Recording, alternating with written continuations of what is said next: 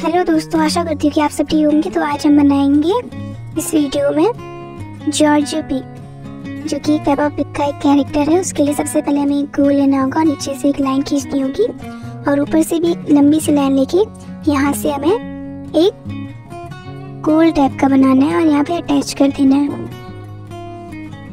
ये हमारा गोल बन के तैयार है। अब हम इसके कान बनाएँगे लंबे और गोल आकार के और इसके नाक में दो गोल और दे देंगे। आँखों के लिए भी हम दो गोल बनाएँगे और अंदर डॉट्स दे देंगे।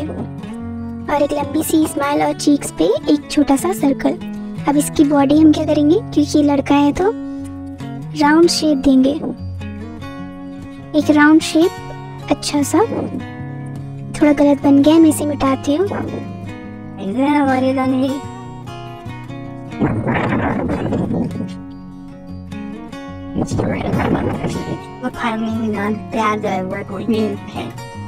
अभी हमारा राउंड शेप पूरा कंप्लीट हो। गया अब इसके हम हाथ बनाएँगे एक पतली सी लाइन, दोनों को अटैच करके एक फिंगर छोटी एक बड़ी और एक छोटी, यहाँ पे भी ऐसा ही करेंगे।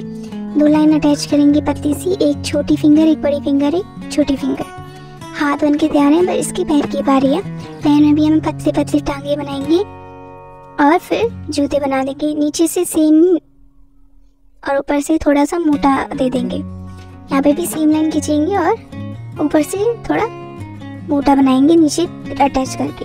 हाँ हमारा तैयार है। अब बारी है इसमें कलर करने की।